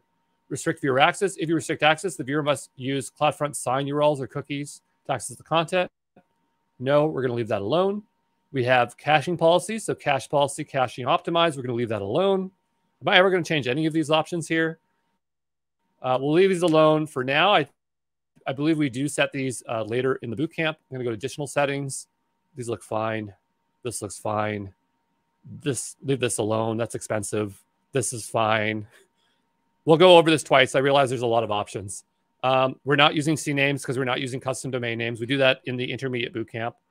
Um, custom SSL, no, that'd probably be expensive, or we'd use it from um, one for our domain. So we'll leave that alone. Okay, we actually have something we can enter in. Default root object, index HTML. And I realize I'm going quick. We'll we'll go over this twice here. Um, yeah, I think that's that's it. So we'll go all the way back to the top. Okay. So yeah, all we did is we had that static website hosting here, and then we literally scrolled on down, down to the ground, and we put an index HTML in here. Now, there was one thing that I wanted to know is I wanted to know if it was going to use the SSL certificate for CloudFront. And I think actually in Terraform, we actually have to tell it explicitly, but here we don't. Um, I just want to tell you that when you use Terraform or when you use CloudFormation uh, or any IAC tool, just understand that the APIs are not always the same as the UIs. So sometimes the UI does like three, four things for you that you don't see. But when you do encoding, you actually have to know more about how the APIs work. And that's why I always encourage uh, people learning cloud to start looking at the API sooner so you have a better idea of what that is. But I think it's important to look at both the UI and the APIs and the CLIs and the code to understand and try to get a mapping of where things are different, if that makes sense. I know that's a big mess. Anyway, uh, one other thing I want to do is put a description in because I found out with CloudFront, they just really don't help you understand what these things are for. So I'm just going to go here and say uh, Terra House example CDN. I want everyone to fill in a description here. And just tell me if you are, uh, give me a 250, sorry, no, 300, 300, if you are down here and you're ready to uh, create your distribution. Okay. And by the way, this takes a little bit of time to create, and that's the perfect opportunity to go take a break so I can go get a snack because I'm really hungry. but I could barely think here. So if we got 300s, go ahead and create that distribution. Fingers crossed that this works. I just want to point out that these distributions do take a little bit of time. I think it takes five minutes at least for this to spin up. And okay. the other part of it is that if we make a mistake, it takes like five minutes to fix it. So let's really hope that this works. So I'm going to go ahead and create the distribution. Oh, and we got to just say we don't want WAF. Say no to this because this is an extra cost. And we'll go ahead and create that.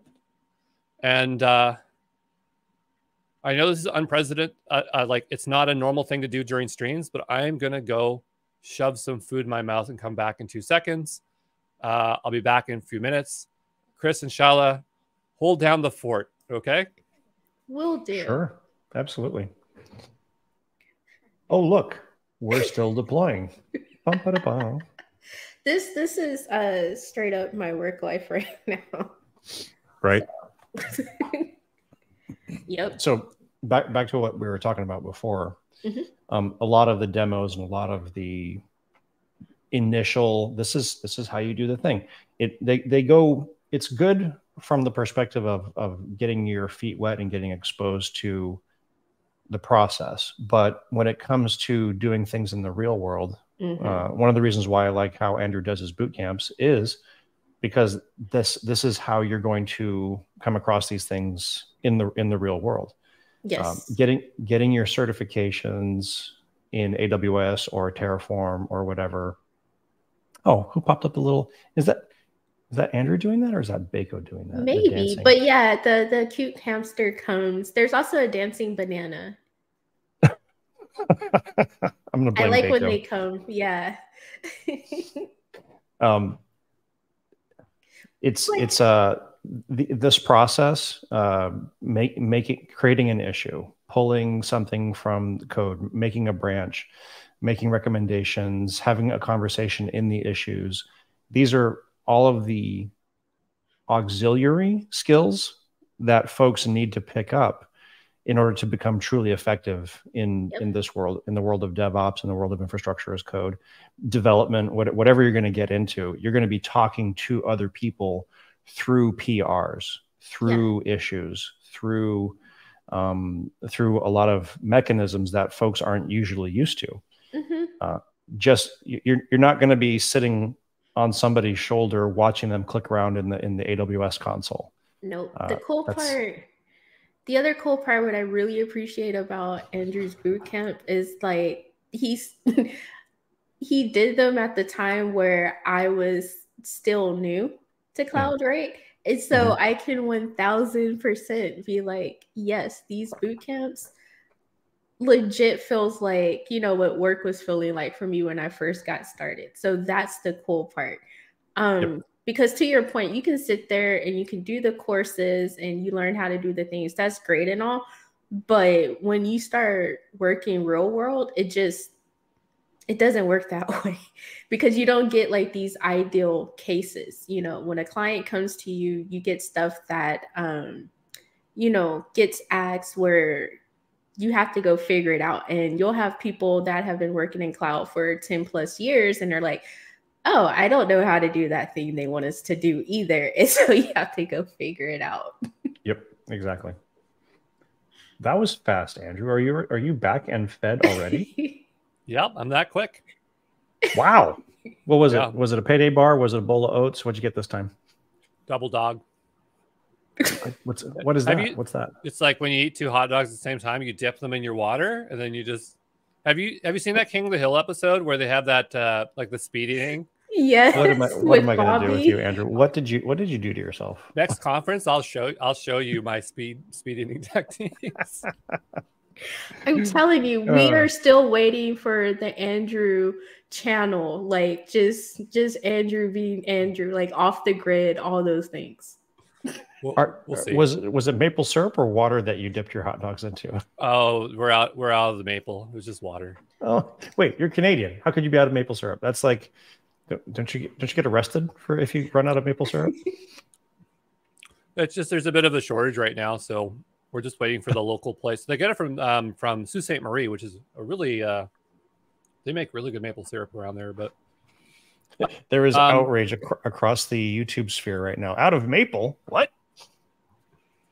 Well, they'll have some in a few days, but um, yeah, when the town when maple syrup comes in, the town just buys it up. But um, anyway, so and I'm serious, we really do go through a lot of maple syrup. Um, that's funny. Anyway, so if, I want folks to go back and click under distribution and then scroll to the right. You can see that note comes in handy here because the rest is really not helpful in terms of information. So make sure that you can see your description and then scroll all to the right and tell me if the status is enabled.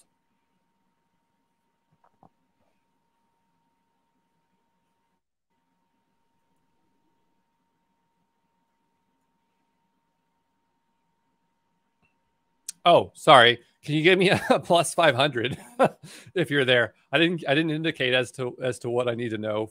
Plus 500 if you have status enabled and your distribution's ready. So sorry about that. Anyway, so now the question is, will this work? if we click into our distribution, we get a custom domain name. So this is a different domain name from the one that the S3 bucket generated. And the idea is that we're hoping that when we use this domain name, it's going to point to the S3 bucket and work. And it may not work, and I have an idea if it doesn't, but let's go and see if it works. So I'm going to copy it, bring it back up here. By the way, I'm just going to tell Gitpod I'm still running. So I'm just going to click, click, click, click, so it doesn't forget. And we still have a 403. Oh no, why do we still have a 403? What could it be? Oh no. Um, the reason we still have a 403. Oh, sorry. Chris, do you do you might have an idea why we no no no no please please I'm I'm adding uh, a, a, verbal background I'm, I'm, I'm your backup singer I'm like oh no okay um the, the reason we have a 403 is that we probably don't have a bucket policy so coming back to our diagram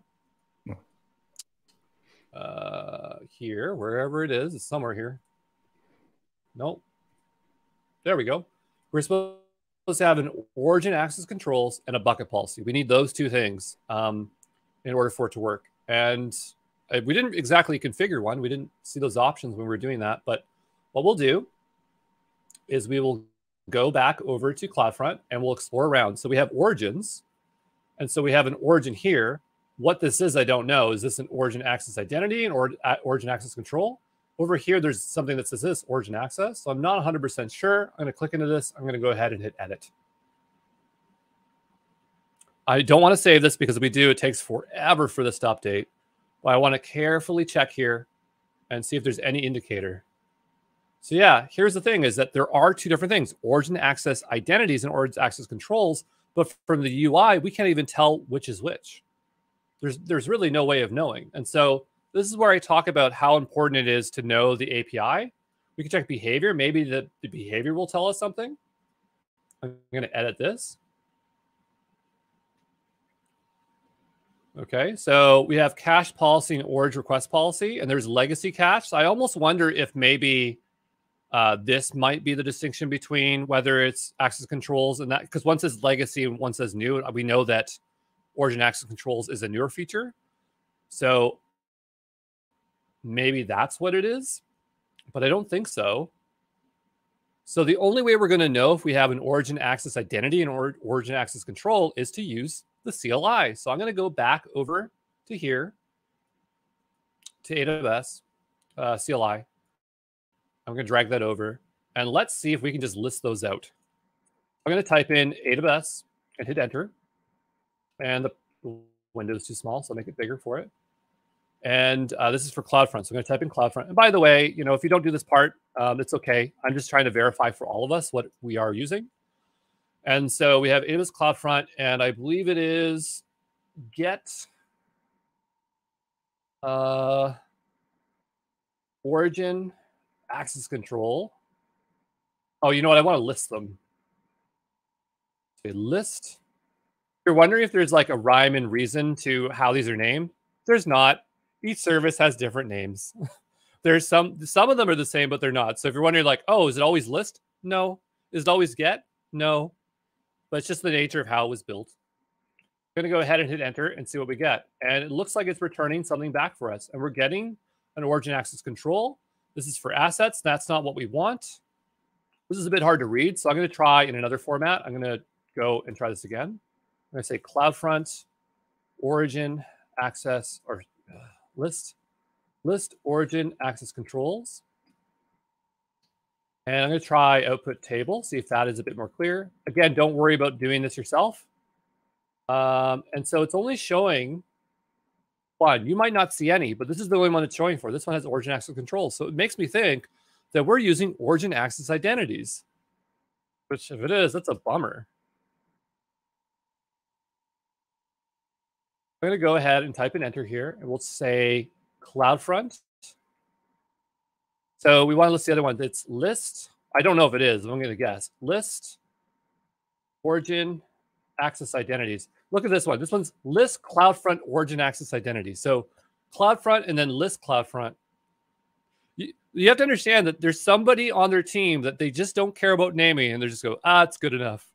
Yeah, close enough. Close enough. But we live with it. It's all right. So we'll hit enter. and it didn't show any. Interesting. Okay. Interesting. So now my question is, how do we create an origin access control via the CLI? And you know what? This isn't something we can ask AWS or uh, ChatGPT because ChatGPT doesn't know about this feature because its knowledge is from 2021 and this feature is from 2022. So if, if people are like wondering, can we use ChatGPT for that? Nope. It's totally okay if we we go bust here because in the bootcamp we will solve it. But I'm just curious. I want to try to apply some troubleshooting, figure out how can we get an origin access control if we're doing click ops. So what I'll do is I'll just say origin access controls, and we'll look at AWS because they probably have a blog post. Every time they launch a new feature, there's a blog post, and they usually use click ops to show you how to do it there. Right?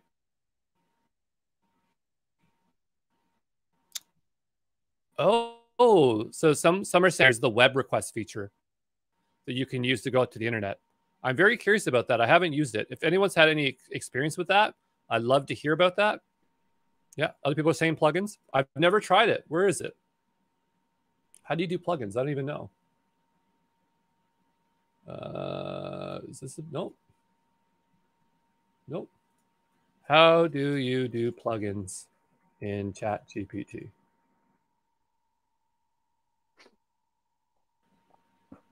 Doesn't native support plugins? Okay. Well, there's some way to do it, but I sure don't know how. But we'll go to the blog post. So you can see this is in August 2022, and the data in ChatGPT is 2021. Maybe there's a way we can do that. We have Origin Access Controls, or OAC, and all I'm looking for is how do I create it? So when using OAC, uh, CloudFront Edge locations receive the request, etc., etc. Et so next we'll talk about OAC. So I just want to see how I create one. Um, create control setting. So there's something called a create control setting. So I'm going to go back over here. And again, this I've never done this before in the UI. And maybe it's here on the left-hand side in CloudFront. I'm just trying to guess where it is. And as a cloud engineer, you always have to figure out where things are. Uh, I would use Bard, but Bard does not work in Canada. We don't have access to it for some weird reason at least not yet. So um, it was called control access settings. Let's go over here and try origin access and take a look. Oh, look here, control settings and identities. So it's actually separate from it. That's interesting. I never knew that. So now we know where it is. And we'll go ahead and create a control setting. So boot campers, what I want you to do is go over to origin access in CloudFront, right? And Click on this and tell me when you're here. Get uh, let's reset the counter. We're going to do high with numbers here. Give me a plus one if you are on the create control setting. Give me a negative one if you are really, really lost.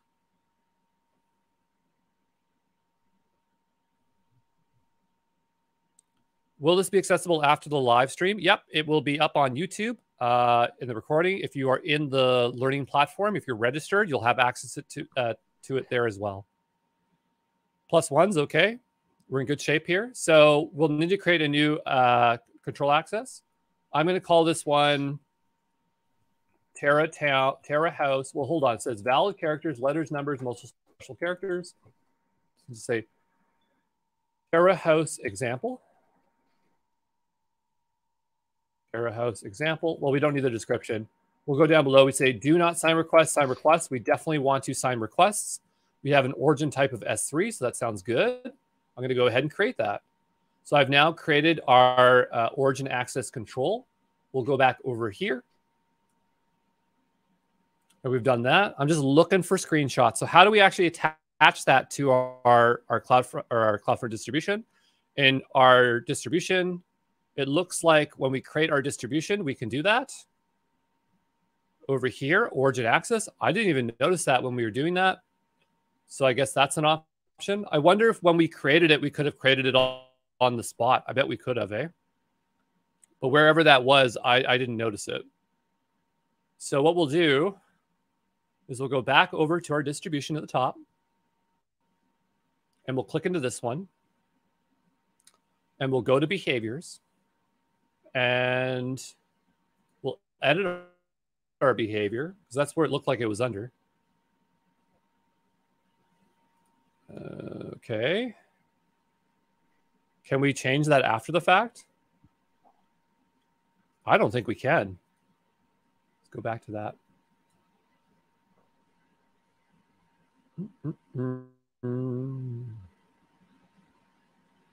Where was that? Here. Create distribution. In origin configuration, in the origin dropdown list, you can optionally configure origin path to append the origin domain name. I don't know if we can change that retroactively. You should sign the request. The reason you want the request signed is that is what's going to allow it to get access to the the, the private bucket because they're signed. At least that's, that's the way I understand it. Um, when when I uh, actually update my certification courses, I'll sound a lot smarter because I'll have a, more documentation pulled up at the time. But um, which one is the signing behavior? Oh yeah, sorry. So it's just that checkbox there. So yeah, I don't know if we can retroactively change that because it goes here origins, creates the origin. Uh, maybe we could edit the origin because it's under those options. So I'm going to go back there and take a look. And we'll go here. I know I'm all over the place, but we'll figure it out. We'll go to edit. Uh, no. Okay. So I think this is my guess, but I think that if you want origin access controls, you have to actually create it. You have to create the uh, control setting first and then create the distribution. Or I'm just going to check this really quickly. You don't have to do this. I'm just going to do this very quickly. Is there's probably an option under the origin here.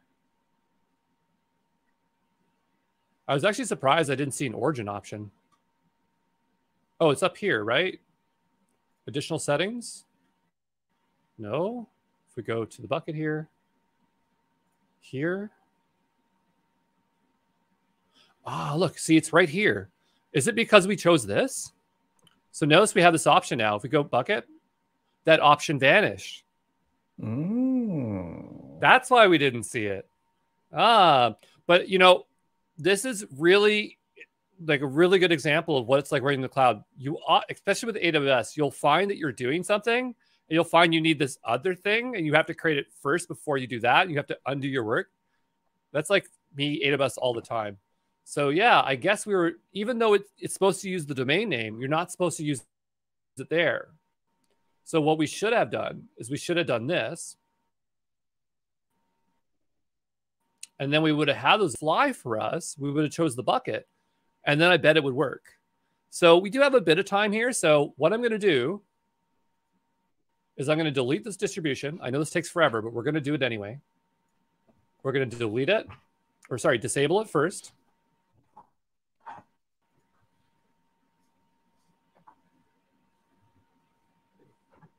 And by the way, now I'm kind of just speeding through it because we're we're really low on time. So I'm just kind of speed through it and just try to keep up the best you can. Again, this this is recorded, so we can look at it again. So this has to disable. It will take time to disable. While we're waiting for this one to disable, I'm going to create a new distribution. I'm going to go and choose that uh, that S3 address. I'm going to ignore that option. I'm going to go here instead. I'm going to drop down this. I'm going to go to here. I'm going to scroll on down I'm going to say no to that. I'm going to um, leave all this alone. I'm going to set this to index HTML, and I'm going to say Terra House example two. I'm going to create the distribution. I know that was fast. I'm not expecting people to follow along at this point. If you can keep up with me, because I'm I'm a I'm a maniac, uh, please do so. Uh, it's not important for you to finish this stuff. It's just important for us to experience this. This is what I want you to do experience these issues or troubleshooting through the stuff and understand how to find things naturally and things like that. I'm going to go ahead and hit create distribution. It um, says so Graham, distribution Graham Davies, by allowing. Oh, serious? Um, so Graham Davies says you can also do this retrospectively via edit behavior and create origin request policy. Okay. Dang. Uh, complete the distribution configuration by allowing read access to CloudFront. So that's the last part of it was that even though we created the distribution with the access control policy, we still have to have this bucket bucket policy. And that is this last part here. Uh, if we go back to this one, where did you go? Where's my diagram? Here it is. Is we need that part there automatically. So what we need to do is we need to copy it. So I'm going to copy that policy. And I'm going to go to my S3 bucket permissions right here. Okay. And I'm going to go down here. I'm going to edit the bucket policy.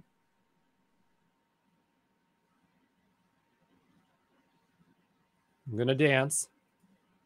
We'll paste that in there. So it should have the bucket policy. And by the way, we spend more time in the videos uh, looking at this bucket policy. So I know I'm just glancing over it. And we say that. And I'm going to go back over to CloudFront.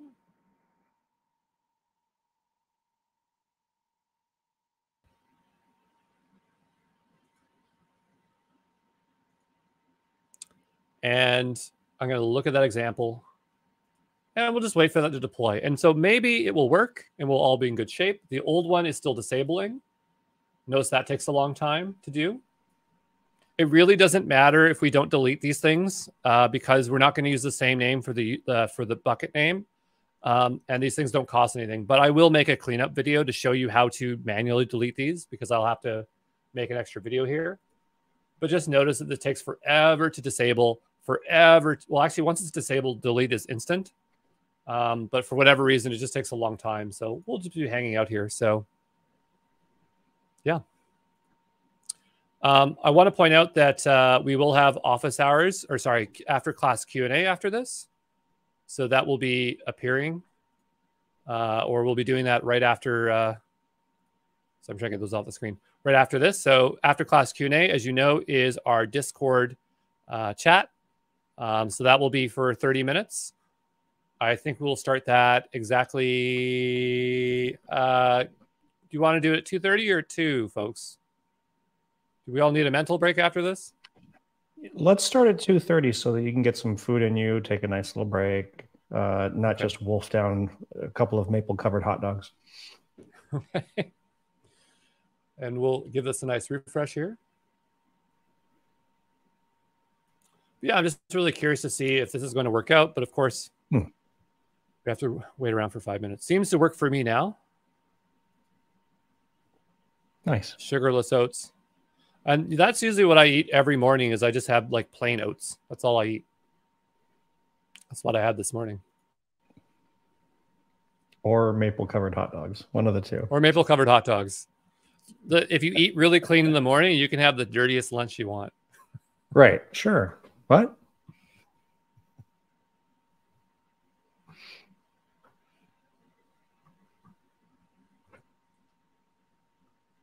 And uh, so the old one is disabled. So I can go ahead and delete the old one. We will check this new one. I'm going to check the domain. Fingers crossed that it works. Yeah. Yeah, yeah, yeah, yeah, yeah, yeah, yeah, yeah, yeah, yeah, yeah, yeah, yeah, yeah, yeah, yeah, yeah. Okay. And and the most impressive part of this is the fact that the S3 bucket is still blocking all access. That, that's the cool mm-hmm. thing. At least to me, anyway. I don't, I don't know if anyone else thinks this is cool, but um, but yeah. So that's all I wanted to accomplish in today's video. Uh, again, it doesn't matter if you complete this part here. It, I just wanted you to experience this process and to see where we would uh, struggle, and we had some struggle, which is great. Um, I'm going to just start cleaning this up. So the way we clean this up, you just saw that we, we did that before, how we deleted that. So we'll go ahead and disable this one. I think that we can't delete the bucket until, well, first we got to empty the bucket. Right. But the other part of it is that um, I, I don't know if it will let us delete the bucket if the the distribution's pointing to it. And we'll find that out here in just a moment. So we'll go ahead and empty the bucket.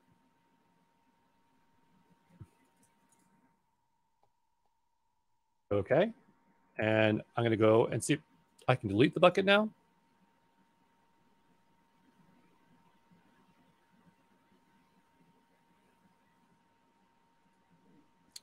And say the real Andrew, here we go. There is no changes to push. We were just simply doing that um, uh, for demonstration. Like we just wanted to create those files so that we had something to push to the bucket. But everything in Gitpod, we can go ahead. We can shut down our Gitpod now. So I'm going to stop my workspace. I'm not going to save any of those changes. I don't want to keep any of that. And we'll make our way back over to here. And I'm going to see if it'll let me delete this bucket.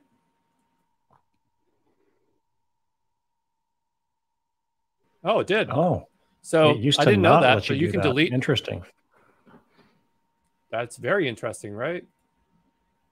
Unless this one was done.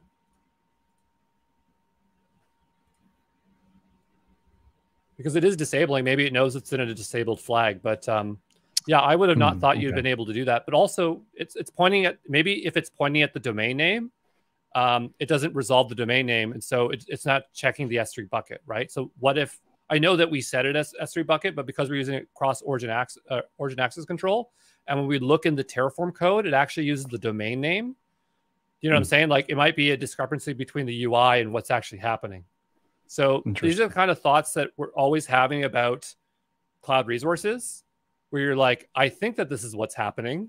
And sometimes you don't never find out the answer and you just have to make a mental model of your head of what actually does work. And then if you ever get to talk to someone at AWS or you have support or you get to talk to the person that built it, then they actually explain the logic behind it. Um, and also things things change. Like Chris said, I thought that you couldn't do that before. And this happens all the time. So, you know, just understand that you have to always double, triple, quadruple check things and you just get kind of used to it after a while. But um, anyway, hopefully that was all good. Um, it looks like my stuff will be cleaned up here uh, shortly here. Um, but we're pretty much wrapped up here. Is there anything else you'd like to add, Chris or Shala? So um, now that we've done this manually uh, throughout mm-hmm. the, the, course of the rest of the week, what we're going to do is terraformize this and uh, get this into and into some uh, TF mains, right? That's correct. That... Yes. Okay. Yeah. Um, and, and, I'm sorry. No, no, please go ahead. Oh, I was just going to say I could show, we could take a look at what it's going to kind of look like to get an idea of how complex that code is. Nice. Just kind of a sneak peek. So over here, I'm just going to jump over to, I think 1.8.2 is the latest. So the week that's coming up here, week one, we're going to end up uh, writing some code in our main TF file. We're going to create ourselves our own module, which sounds scary, but it's not as bad as you think. Excitement. Nice. Yeah. We'll create our own module. And so in that main TF, uh, it'll look a bit empty, but we will set up our CloudFront. So everything that we just did, we're going to set up a cross-access cool. origin control, set up a distribution, looks scary, but it's not. We're going to check for invalidations. We're going to set up that S3 bucket. And so hopefully people are really, really excited for this week because this week is going to really cha- be the challenge week. It's going to be very, yeah. uh, I think it's probably the hardest week will be probably week one. Um, but this is where you'll learn all your core Terraform knowledge. So hopefully everyone is excited this is going to be awesome. Nice. But, so, but um, yeah, so I think we can break a little bit early here at 2.30 we will all reconvene in the after class q&a uh, and uh, you know if, if you get a chance try to eat something before you come to the uh, after class q&a okay. Awesome. All right. We'll all see you cool. soon. Thank you andrew. Yeah. This is great. Ciao ciao